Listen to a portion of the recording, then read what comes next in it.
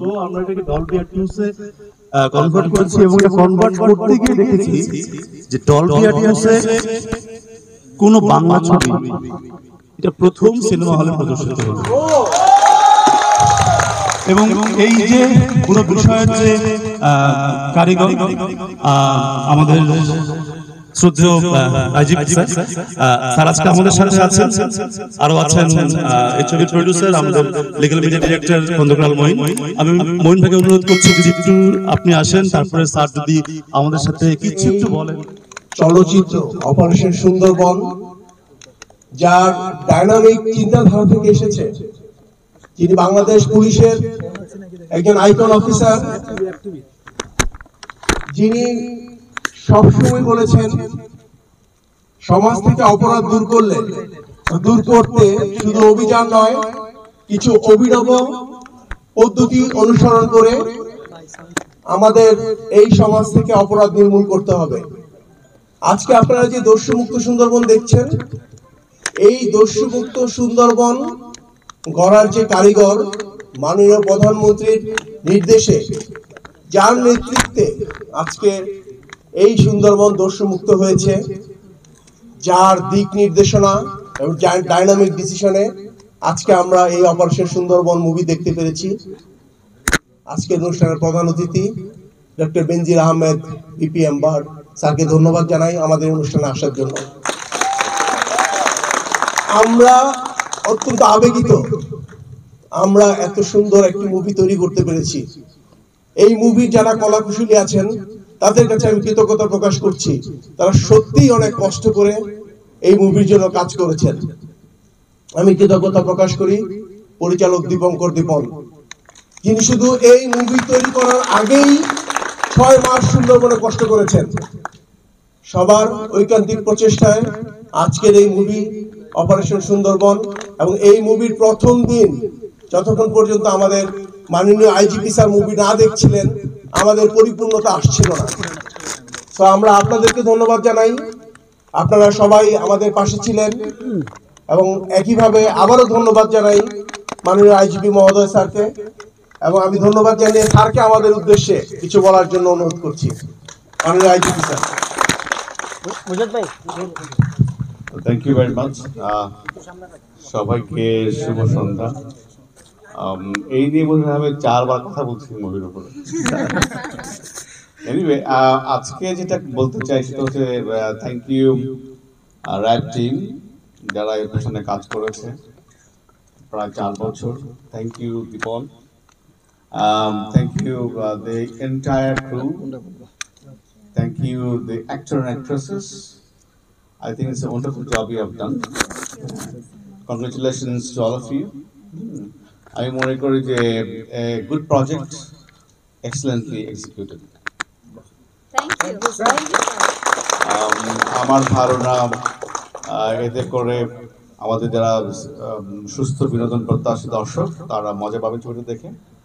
R VFX was very good তারপরে technical quality was very good করব নাকি জীবন please তো সমালোচনা করলে মন খারাপ হয়ে যাবে তোমরা তো পর একা একা বলব কারণ এখান থেকে আবার অনেক মিডিয়া আছে ওরা পিক করবে। তো সে কারণে বলা যাবে না একা একা বলব এনিওয়ে আমি ভালো দিকগুলোই বলি। আমার দুই ঘণ্টার বেশি স্যার দুই ঘণ্টা একুশ মিনিট। আমার মনে হয় এটাকে এটা আপনাদের টেনে নিয়ে যেতে পেরেছে আপনারা ধরে যায় এটা একটা বড় সাফল্য যে এই দুই ঘণ্টা বিশ মিনিট ওরা বসে আছেন এটা কিন্তু আপনাদের টেনে নিয়ে গেছে। তো এটাই হচ্ছে এই মুভিটার সাফল্য এবং এখানে আপনারা ইউ ক্যান বি প্রাউড যে আপনাদের দেশে এই ধরনের ট্রুপস কাজ করে। হ্যাঁ? এবং এদের ক্যাপাসিটি কি? সেটা কিছু অংশ দেখছে না এটা পুরোপুরি না আমরা অনেক কিছু করি, অনেক কিছু আমাদের ট্রুপস অ্যান্ড অফিসার্সরা করে। আর এরা কিন্তু যেভাবে দেখেছেন, ওখানে কিন্তু ইয়া নাই, কেউ তানিয়া নাই কিন্তু জঙ্গ- জঙ্গলে আসলে নেই। সেটি ফ্রি। এবং সেখানে শুধুমাত্র বৈরী পরিবেশে কাজ করতে হয় প্রচণ্ড বৈরী পরিবেশে কাজ করতে হয়। আর এই সিনেমাটিক হওয়ার কারণে হয়তো অনেক সময় অনেক দেখেছেন আপনারা অনেক হেল্প দ্রুত আসছে। কিন্তু অ্যাকচুয়াল যখন ওয়ারফিল্ডে থাকে আমাদের টুপস অ্যান্ড অফিসার্স এরকম কুইকলি কিন্তু সাপোর্ট আসে না।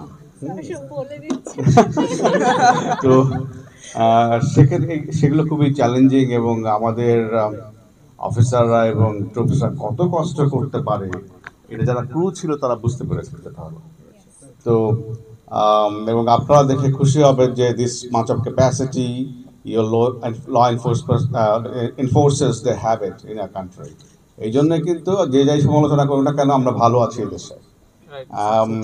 দুই সালে আমি ঢাকা মহানগর পুলিশের কমিশনার হিসেবে টেক ওভার করি। এবং তখন ঢাকা শহরে দুইশো পঁয়ষট্টিটা চিন্তায় চিহ্নিত স্টক স্পট ছিল। টু হান্ড্রেড সিক্সটি ফাইভ যারা পুরনো ঢাকাবাসী তারা জানেন এরা। আজকে ঢাকা শহরে একটা চিন্তায় স্পট নাই। এবং এবং রাত তিনটার সময় কিন্তু চাইলে একজন নারী হেঁটে যেতে পারে না আমাদের রাস্তা ঢাকা শহরে। এটা কিন্তু সত্যি। কারণ হচ্ছে এই যারা ঢাকা শহরে কিন্তু প্রচুর গার্মেন্টস ইন্ডাস্ট্রি আছে, প্রায় সাতাশশো গার্মেন্টস ইন্ডাস্ট্রি ঢাকা শহরে আছে। আপনারা যারা, আমাদের তো এখন সব রাত্রেবেলা সব আমরা সব দেরি করে ঘুমাই। আমাদের এই জেনারেশন কিন্তু সারা বসে থাকে, সারাদিন ঘুমায়। তো এই এই জন্য ভোর কেউ দেখে না আমাদের জেনারেশন বর্তমান জেনারেশন ভোরে উঠে দেখবে যে কীভাবে একদম পিঁপড়া দলের মতো ছুটছে সব কাজের জন্য। আর্লি মর্নিং কাজের সময়। এবং কোনো আমার মতন দুর্ঘটনা নাই। এক সময় যারা পুরো তারা জানেন এখানে যে এই রেল লাইনের দুপার দিয়ে ড্রাগের দোকান ছিল ফেসিলিটির দোকান ছিল টিটি পাড়া বসতে ছিল এটার হেডকোয়ার্টার এবং এই রেল লাইন একেবারে সেই বিমানবন্দর স্টেশন থেকে শুরু করে নারায়ণগঞ্জ পর্যন্ত দুপাশে ড্রাগ বিক্রি হতো। এগুলো কিন্তু নাই পরিষ্কার করা হয়েছে। এবং যে কারণে আমরা আশেপাশে অনেক দেশ থেকে কিন্তু ভালো আছি।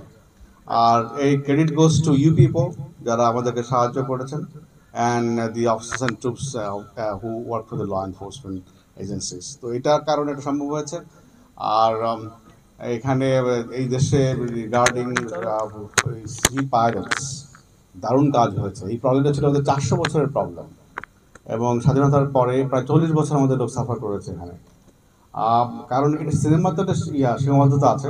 বিকজ ডিরেক্টর্স অ্যাক্টার্স প্রডিউসার্স তাদেরকে একটা সময়ের মধ্যে ফিল্ম শেষ করতে হয়। সেটা হতে পারে নব্বই মিনিট, হতে পারে দুই ঘণ্টা বা বেশি তো আর করা যায় না।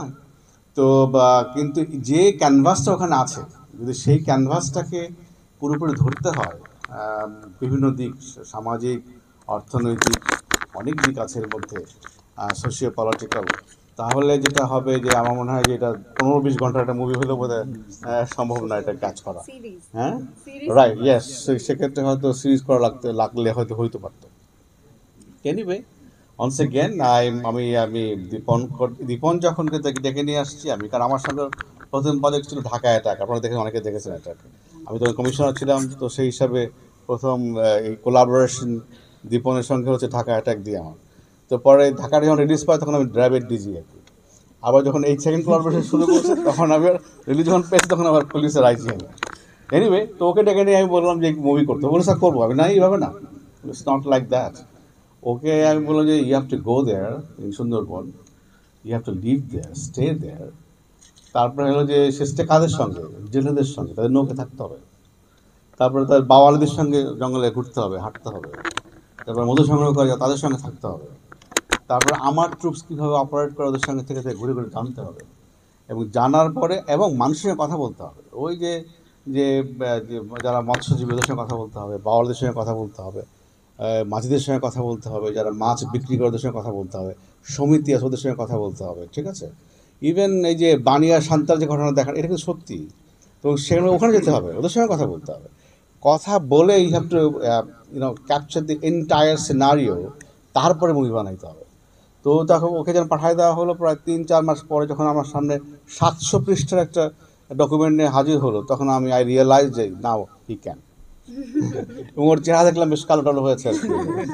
তাই আমি জিজ্ঞেস করলাম কি বৌদি চিনতে পারে তোমাকে নাকি অসুবিধা নেই? বেশ কালো গায়ে রং কালো দেখে আমি শিওর হয়েছে, না, ঠিক আছে, এখন সে পারবে তো এরপরে অনেক সময় লেগেছে। এটা কারণ মূল কারণ হচ্ছে করোনা। প্রায় দুই দুই বছর এটার কাজ বিভিন্ন প্রোডাকশন লেভেলে পোস্ট প্রোডাকশন লেভেলে অনেক কাজ থেকে ছিল আটকে ছিল ফাইনালি এটা রিলিজ হয়েছে প্রিমিয়ার শো হয়েছে। প্রিমিয়ার শো দিন অবশ্য দেখতে পারিনি আমি অন্যের কাজে ব্যস্ত ছিলাম। তো এরা খুব রিকোয়েস্ট করে ধরে নিয়ে আসছে আমাকে। আমি দেখলাম যেহেতু এদের একটা আবেগের জায়গা সেই কারণে আমি আজকে এসেছি আর কি এদের সঙ্গে সঙ্গ দেওয়ার জন্য।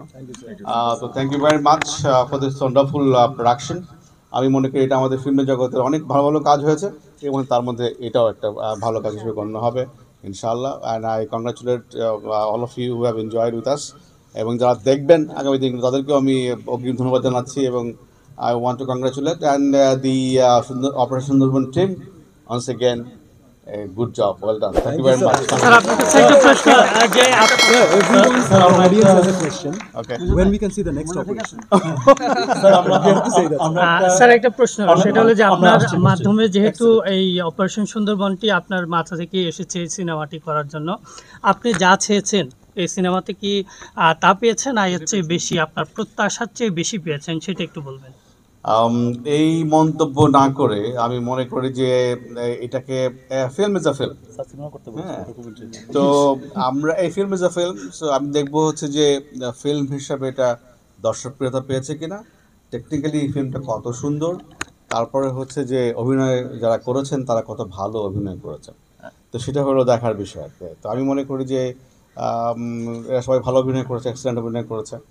Um, some of them to some simply exceeds the uh, even the uh, our capacity level. So সেক্ষেত্রে তো I, I, I was very impressed I can tell you. তো ভালো ভালো হয়েছে। আমি আমি যেটা বলছিলাম যে এই এখানে এত কিছু ড্রামা আছে এত কিছু কাহিনী আছে যে দুই ঘণ্টার মধ্যে এটা ধরা সম্ভব না। সো আদার আমরা যেটা যে প্রোডাকশনটা করেছি সেটা কিন্তু মানুষের মধ্যে অনেক বা আমার মনে হয় কোয়েশ্চেন জন্ম দিবে, অনেক আকাঙ্ক্ষা, আগ্রহের জন্ম দেবে। এই আগ্রহের জায়গাটা তৈরি করতে চাই এবং সেটা আমি মনে করি যে operation Sundarban team could successfully create could create that so এই গল্পগুলো তো অবশ্যই আমি মনে করি যে বলার জন্য ডেফিনেটলি যদি কোনো মিডিয়াম পাওয়া যায়, এবং সেক্ষেত্রে তো film could be a very good medium film হতে পারে টেলিভিশন হতে পারে। তো বা যেগুলো আমি মনে করি আমাদের কাছে এরকম শত সহস্র গল্প আছে। এবং প্রত্যেকটা গল্প ইউনিক আমার প্রায় থার্টি ফাইভ ইয়ার্সের ক্যারিয়ার আমি আমার থার্টি ফাইভ ইয়ার্সের ক্যারিয়ারে একই ধরনের সমস্যা দুইবার দেখি নাই। এভরি টাইম আমার সামনে সমস্যা আসছে সবগুলো নতুন, একদম ব্র্যান্ড নিউ সমস্যা। এবং সেম প্রবলেম কখনো টয়েস নেভার রিপিটেড টু তো এটা এরকম চ্যালেঞ্জিং একটা বিষয়।